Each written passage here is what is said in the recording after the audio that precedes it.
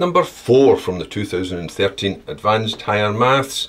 Here we've got velocity, acceleration, distance, motion equations, or for the proper title, kinematics. Ah. What does it say? Find the acceleration of p at a time t of this particle p. Well, the acceleration, a simple statement, is the rate of change of velocity. You're not going to accelerate unless your velocity changes. So that simply means I'm going to differentiate that. So the acceleration will be given by e to the 3t multiplied by that inner derivative 3 plus, and that just stays as 2e to the t. And that's it done. And that was two marks. Compare that to question 3. We had to do for two marks.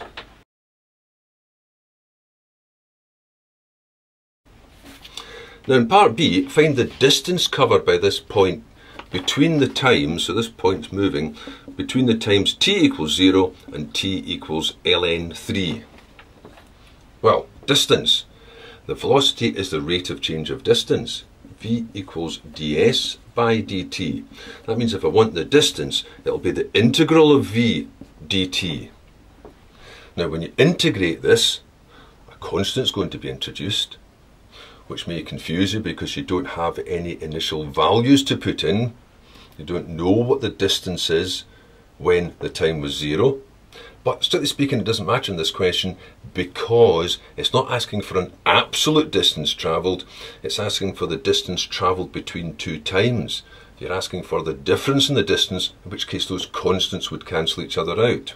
So you could either do it that way, you could integrate that, get the formula for the distance with a constant in it, work out the distance at time ln3, work out the distance at time 0 and subtract them, and that would do. And I'll do that first. So what have I got? S equals the integral of e to the 3t plus 2e to the t dt. So that's going to be integrating at this time. So that remains the same, but now it's divided by that inner derivative, and that just remains the same. But for this distance, there could be some constant. To find the value of that constant, I would know, I'd need to know the distance at a certain time. But that doesn't matter because I'm looking for the difference in distance.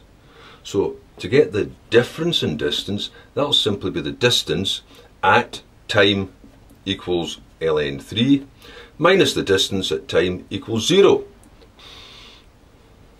So that distance will be, well, work it out to ln3, what have I got? I've got a third of e to the 3 times ln3 plus 2 times e to the ln3 plus this unknown constant minus, should be ringing a bell here, minus one third of e just to the zero now, plus 2e to the zero, plus that constant. Tidying that up, what have I got? Well, rather than writing the other line, that 3 would have to go in as a power, so that's the same as ln 27. So that's e to the ln 27, which is 27. I'll put that part down. So that's one third of 27, plus 2 times e to the ln 3 will go back to 3. The c will cancel out the c, minus a third, because that's just 1, minus 2. So altogether I've got 9 and 6 is 15, take away 2 is 13, take away a third, and that's 12 and 2 thirds units. Now hopefully that part just rang a bell because the elegant way to solve this would be to say that yes, the formula for the distance travelled is the integral of the formula for v dt. And more than that, integral, integrals ring a bell. To find the distance travelled in a certain interval, in this case it was from 0 to ln3, it would be you'd integrate your expression here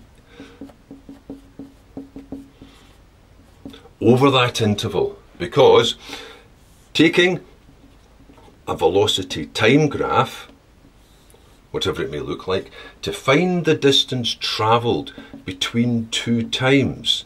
It's simply the integral from one time to the other. It's simply the area under the graph between those two times. So it'll be the integral of v dt. Now you would know that if you did the mechanics part of advanced higher or if you do physics. So it's the area under the graph that's going to produce this. And notice of course another feature here, this integral, when I work it out, will produce the same answer you had before. Now that's the fundamental part of integration. If you integrate a function between two values, it turns out to be that no matter how this function changes in between these two values, the result only depends on the value at the end, take away the value at the beginning, once you've integrated that, once you've got its antiderivative. If I call its antiderivative, I don't know what that stood for again, is that meant to be a B? If I call its antiderivative f of x, then it would be the value of that at b, take away the value of that at a which is exactly what you did in the first part. That's the comparison between the two. And that's that what's known as the fundamental theorem of calculus. That this calculation here, this integration of all these bits and pieces that happens between two, adding them all up, results simply in the difference between the end value and the initial value. Well, that's what we're going to have here. So, that will be e one third of e to the 3t plus 2e to the t, evaluated from 0 to ln3. Of course, this is just the same as before, which will be 1 third of e to the 3 ln3 plus 2e to the ln3 minus 1 third of e to the 0 plus 2e to the 0, which of course comes the same thing as before.